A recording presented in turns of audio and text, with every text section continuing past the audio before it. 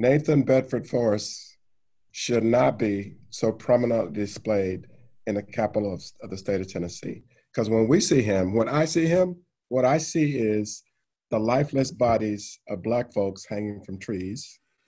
I smell burning flesh, and I hear the moans and wails of families watching their, their families being killed. So maybe if, if, if they saw what I saw, heard what I heard, and smelled what I smelled when they looked at this, this thing, they would understand why this raises so much emotions for us.